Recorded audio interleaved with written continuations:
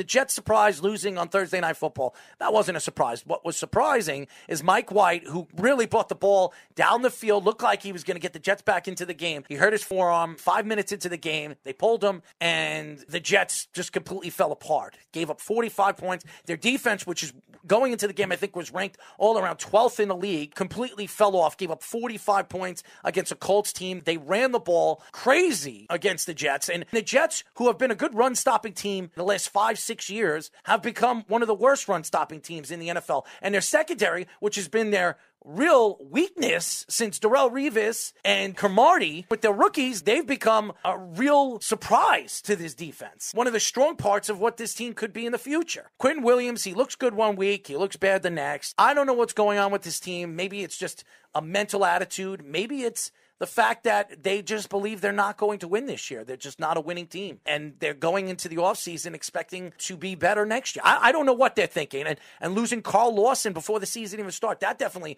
hurt them and, and their thoughts of where this defense could have been. And now Zach Wilson, all the fans with Mike White, they're cheering Mike White. I've seen fans get Mike White tattoos on their body. I mean, are they out of their minds? Chris Sims said it very, very nicely. When the Jets didn't bring in a veteran quarterback in the offseason. The Jet fans were going crazy. Why did you bring a veteran quarterback like Flacco back that can help the young rookie figure things out? And then when they heard about Mike White, it's like, who the hell's Mike White? A journeyman, he stinks, this, then that. What happens if Zach gets hurt? What are we going to do? Zach Wilson gets hurt. Mike White comes into a game. He has one of the best games we've ever seen a journeyman player playing the NFL. He threw over 400 yards, three touchdowns, one interception, 37 for 45 and his bowl, his jersey, and everything, his helmet is in the Hall of Fame right now because it's one of the greatest starts we've ever seen a journeyman have in the NFL history. And now all of a sudden, Jet fans want to see Mike White instead of Zach Wilson. Chris Sims says it best. It's not just the Jet fans, it's just fans' prototypical thought is when a guy comes in and he has a game and you're rookie or starting quarterback isn't playing well, you just want to send him down. You just want to get rid of him. This kid, Zach Wilson, who's been in the league for what, five minutes? Never even got a lick or get a chance from a Jet fan. So I'm going to say this as a Jet fan. If you're a real Jet fan, you need to sit back and let this kid figure it out.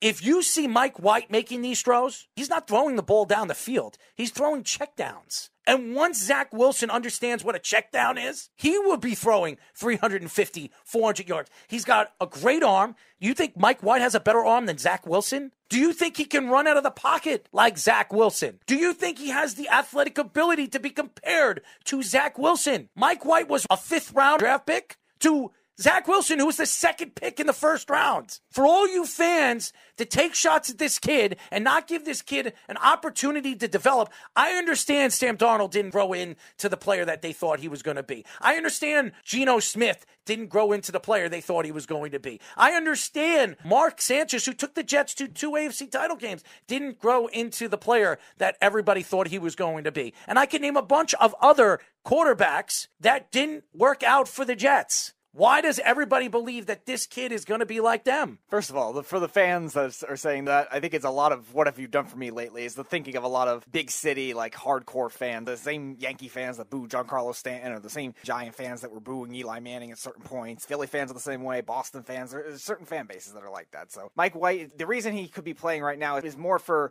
keeping Zach Wilson healthy. You don't want to rush Zach Wilson back, and then all of a sudden he re-injures that PCL and maybe even has more. Because remember, he was hit two different spots against the Patriots in that game, so, which were penalties. Yeah, and you're looking at a case where you don't want that kind of thing in a lost year kind of already, where it's a transitional year. We kind of expected that for the Jets this year. They're two and six right now. They've looked good in certain games, but still, you don't want Zach Wilson to have to be re-injured. I don't think you should sit him out the rest of the season, but at least bring him back maybe two games or three games later. But make sure he's completely healthy. Don't rush him back right now. So Mike White will play for the time being. If he plays well, maybe you could trade him. Who knows? He's going to be a free agent if he plays well for the next two or three games. If you don't see Zach Wilson, he's an unrestricted free agent. The Jets could get a pick for him, a conditional pick if a team does pick him up in the offseason, and he's going to be gone. The Jets aren't going to be able to re sign him, especially if he's having a good season. Another team's going to say, I could develop this kid. He's only 26, going to be 27 years old. He could be the future quarterback of my organization. The Pittsburgh Steelers, if Ben Roethlisberger retires, that would make sense for Pittsburgh. That would make sense for a lot of these other teams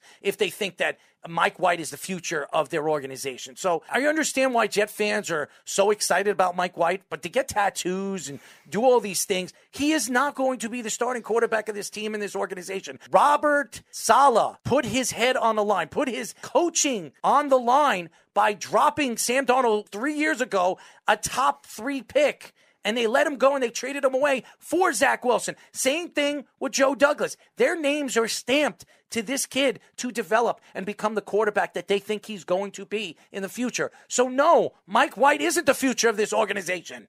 Speaking of Sam Darnold, also hurt, and now the Panthers bring back Cam Newton. Uh, Cam Newton, Sam Darnold, and I, I, hear this. Sam Darnold's done in Carolina. He's not. He's not done. They gave up a second and a fourth round draft pick for him. They gave up next year's future in their first four rounds. And you know, a second and a fourth are conditionally starters in the NFL if you're drafting them in those those four rounds. So they give up two starters for Sam Darnold. So they're not going to just say, "Hey, we're just going to get rid of him. Right, especially since Cam Newton hasn't had a good stretch of football even if Cam since has a, 2018. Even if Cam has a good season, Sam Darnold's still the starter. He's got a shoulder problem. When he comes back, he's the starter. It doesn't matter how Cam Newton's playing.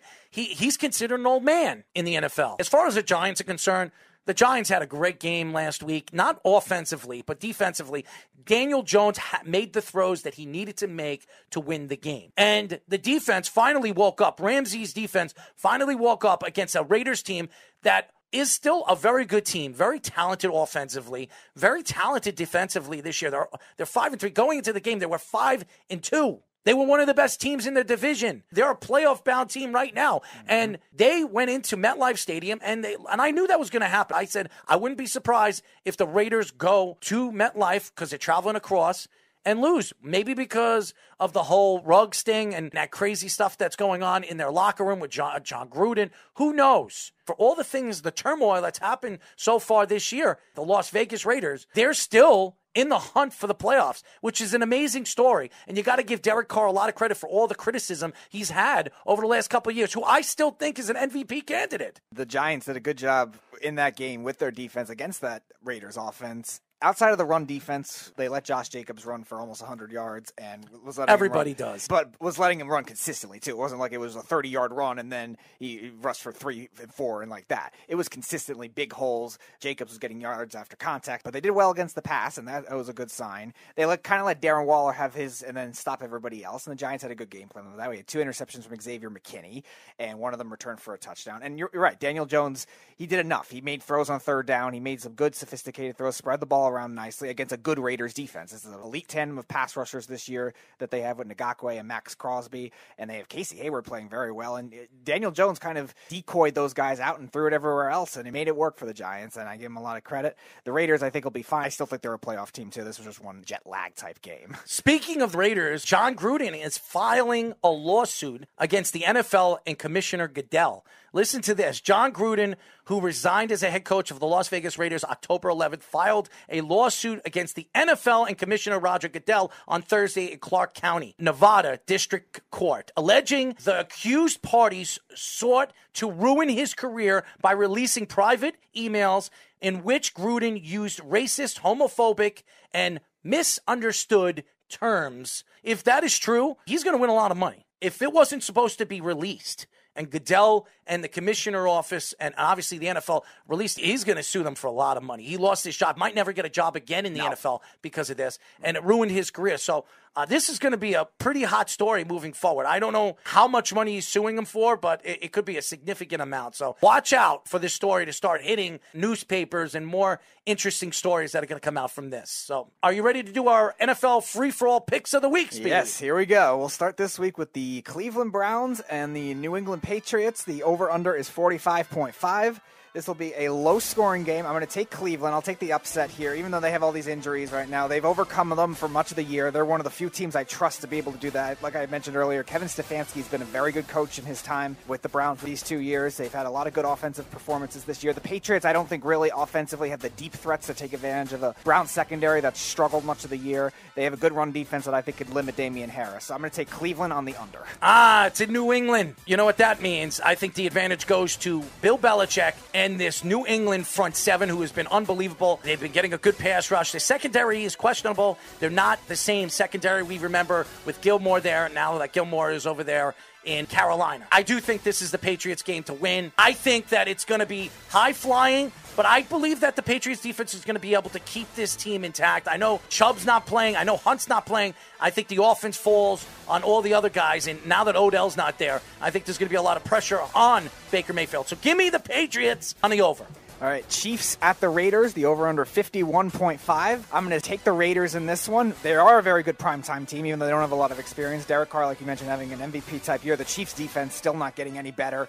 And their offense, I think, when you take out one of Travis Kelce or Tyreek Hill, seems to be exposed this year. And uh, the Raiders, I think, can do that. They have good linebackers. They have Casey Hayward, who had, who's had a great year this year. And that pass rush against the offensive line that's had a lot of trouble. I think the Raiders win, and I think they win by double digits. Running the ball, Darren Waller, huge game. I'll take the Raiders on the over.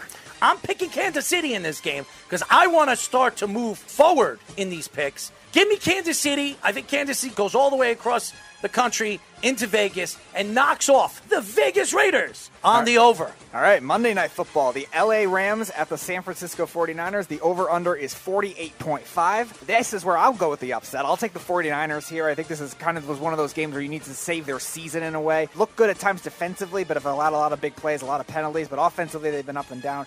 The Rams now getting Odell, getting Von Miller kind of worked into it. I think it'll take a little while for them to gel. The Rams have struggled against the Niners defense in the past, and Monday night primetime game, this could be a rivalry game. This could be an upset. I'm going to take the Niners on the under. This is not the same San Francisco 49ers team. I like the Rams in this game. They're the better running team. This is a better all around team. I think Odell Beckham will play in this game and make some big plays. I don't know if he'll get a touchdown, but I think as we move forward, I think Odell Beckham will be moved into this offense more and more and more. Give me the Rams on the over. I think they destroy the San Francisco 49ers on Monday Night Football. Those are our free for all picks of the week.